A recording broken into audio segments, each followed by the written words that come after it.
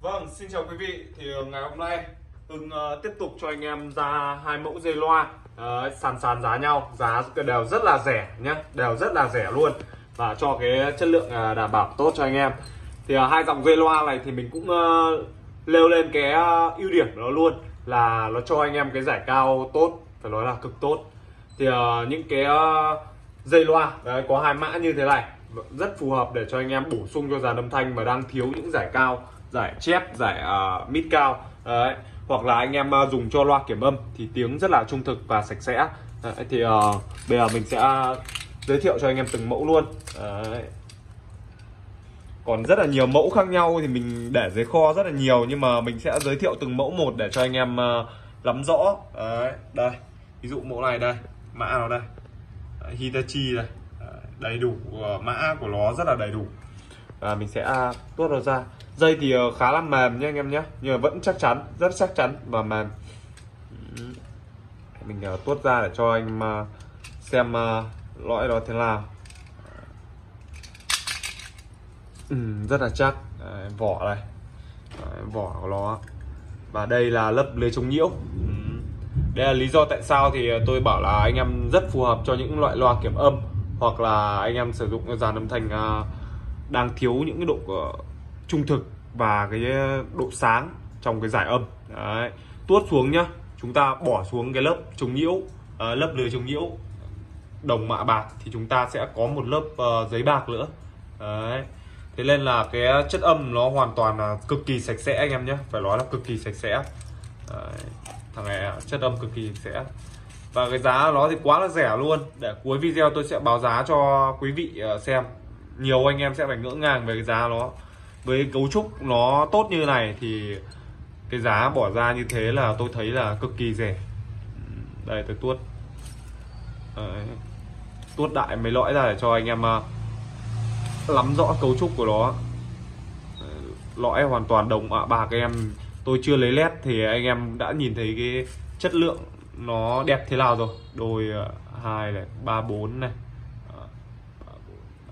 Đấy và tổng cộng là mỗi vế mỗi vế của nó là rơi vào là 5 cặp lõi. Đấy, tương đương với cả 10 lõi dẫn anh em nhé. 10 lõi dẫn. Và tôi tuốt tuốt lốt cái này về vào cho anh em xem. Đấy. Đây. Đấy, tôi về vào.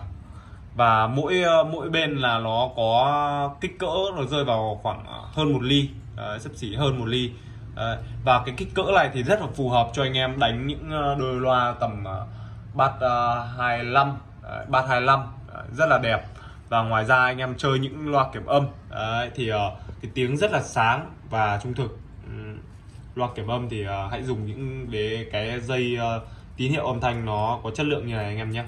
Đấy.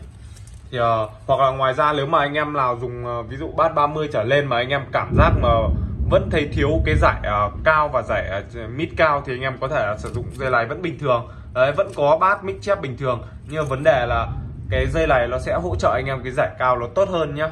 Cái cái dây này nó sẽ thiên về giải cao hơn. Đấy, để phù hợp cho anh em. Nói rõ để anh em còn à, lắm nắm bắt để uh, ấy cho bộ dàn. Đấy, loại à, dây thứ hai đây.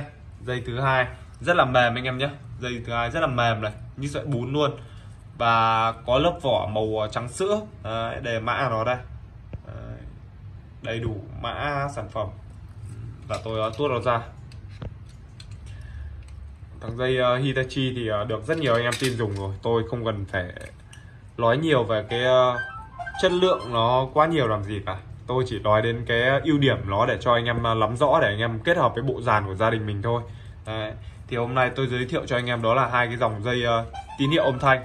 Có cái chất âm nó rất phù hợp để anh em uh, chơi những bản bolero nghe những bản bolero cần độ chi tiết này trung thực và cái chất âm nó sáng tiếng. Đấy. Ờ, cần cái giải cao nó tốt. Thì anh em hãy sử dụng cái loại dây loa này rất là phù hợp. Tiết diện cũng không phải là bé lắm đâu tiết diện đấy là phù hợp làm dây loa rồi. À, những đôi loa kiểm âm mà có sử dụng được những ờ, đôi bộ dây như này thì phải nói là chất lượng rất là tốt nhá. Đây. Tôi xoắn vào cho anh em con này kích thước cũng như thế anh em nhé. Kích thước cũng như thế đồng cũng như thế luôn. Đấy, mỗi tội là nó chỉ có 8 lõi thôi. Đấy, 8 lõi. À, chất lượng và sợi đồng nó vẫn như thế. Đấy vẫn là đồng mạ bạc rất là đẹp như thế này. Anh em thể thấy là đục sáng nó này óng ánh luôn. Đấy.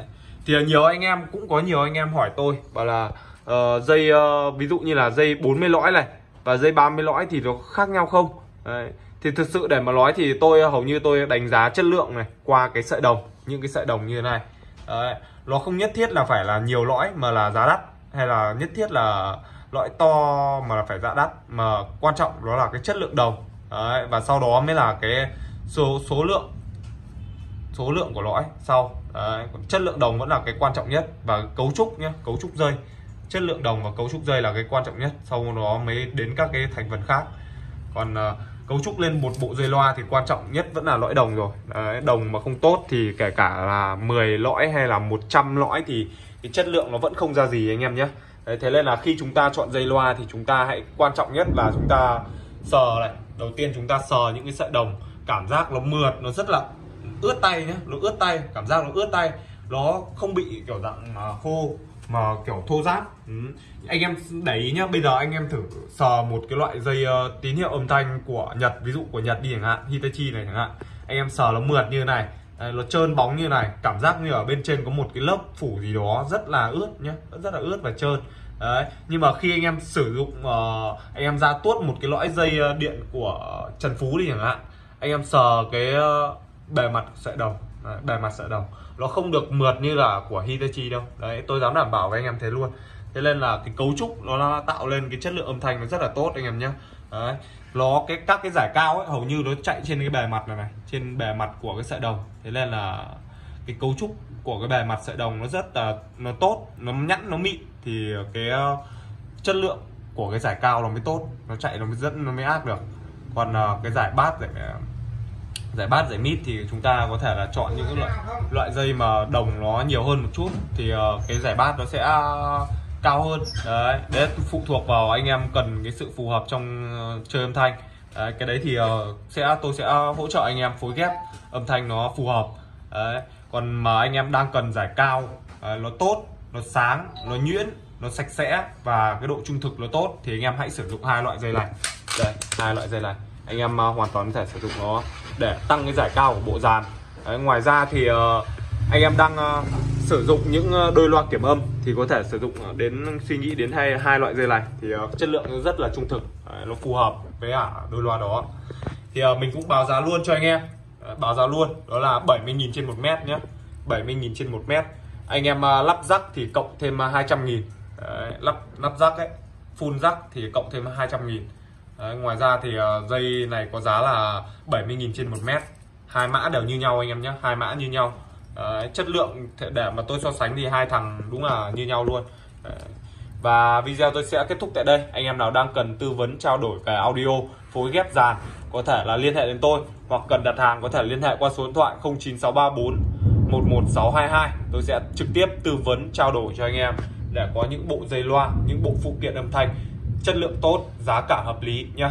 Và video xin phép được kết thúc. Xin chào mọi người. Thì mọi người hãy like và ủng hộ kênh cho tôi nhé nhớ là đăng ký kênh. Đấy, nhớ là đăng ký kênh để thường xuyên cập nhật được nhiều video mới của tôi. Tôi sẽ đăng nhiều video về các cái phụ kiện âm thanh nó chất lượng mà giá lại rất là hợp lý cho anh em sử dụng. Và video mình xin phép kết thúc. Xin chào toàn thể mọi người. Xin chào.